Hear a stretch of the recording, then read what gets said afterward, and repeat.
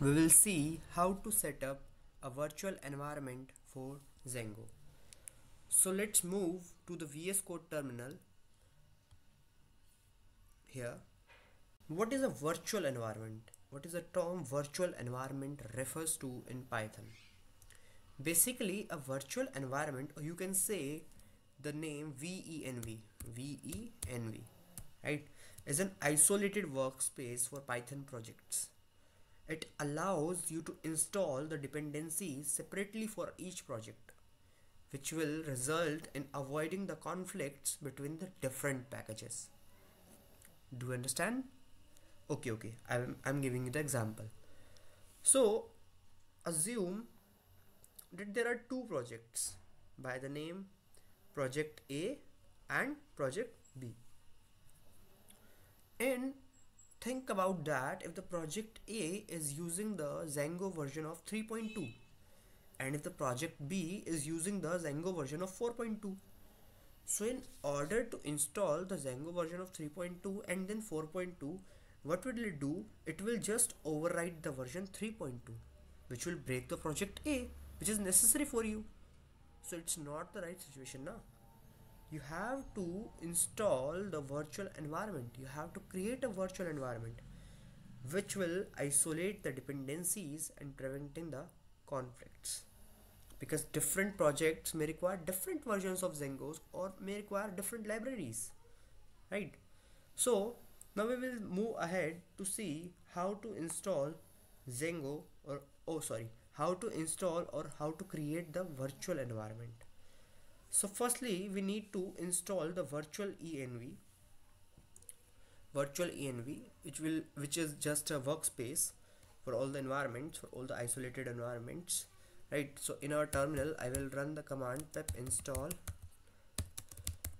virtual env as I have already installed the virtual env now it will show that requirement already satisfied but it will run properly in your device if you haven't installed it right? So this allows us to create the isolated environments for different projects. Now the step 2 what will it do? Step 2 will create a virtual environment. In order to create a virtual environment I have firstly navigate to my project folder and I will run the required command right? So I will uh, I will navigate to my project folder whose name is my project. So to navigate to the project folder I will use cd. Okay I am in my my project folder. Then I will create a new folder here python minus m venv and venv what will it this command this command will create a venv folder in my my project folder. Okay where uh, what is the uh, what is the main uh, importance of venv folder? It will create all the dependencies. No it will store all the dependencies. Okay now here you can see my uh, v venv folder has been created which includes some sort of things uh, which are built in don't worry about it which are built in in the Django okay now I will activate the virtual environment. How I will activate the virtual environment? Firstly if you are on Windows like I am presently on my Windows. How, how I will activate the virtual environment?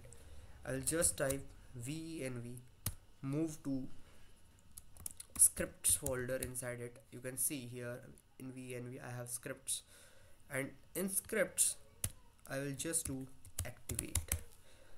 This for Windows right? But if you install it on Mac it on a Mac or you can say a Linux system then you have to write another command. I'm showing you the command here. I will not run it because it will not work. You can write source venv then there is a folder name bin there. And and then you will have to activate. Just run this command. You will activate the virtual environment in your Mac. As I am on my Windows so I will do accordingly scripts and then activate. Activate. Okay. Now I have activated the virtual environment. Once activated you will see the venv appear before your terminal prompt. Here you can see that venv has been appeared before your terminal prompt. Okay. Now I will install Django inside my virtual environment.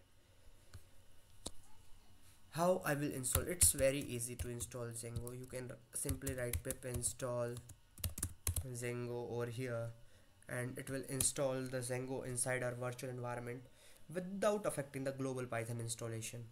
Okay? Uh, it's just installing. Please wait for a few seconds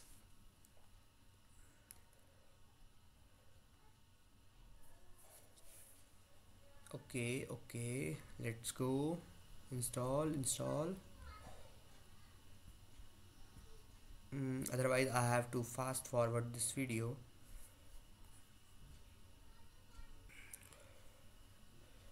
It will take one or two minutes okay. Now I will check that whether the Django has been installed in my virtual environment or not. Virtual environment or not python Django and I will check the version of my Django 5.1.7 it means that my Django has been installed properly. Django is successfully installed now. Now I can work inside this virtual environment. What if uh, now we are moving to the last step it's not for the activating the environment it's for deactivating the environment. Now you are done with the virtual environment and you want to explore outside that environment. You can deactivate the virtual environment by using just the command deactivate and deactivate the virtual environment. Okay? It will return you to the system's default python environment. Right? Now i am in my system's default python environment. You can't see venv over here. Okay? Fine so what's the conclusion over here how to set up a virtual environment for Django I have explained in this video. Hope you are clear with this concept and if you found this helpful hit the like button and uh, turn on the notifications for more Django tutorials.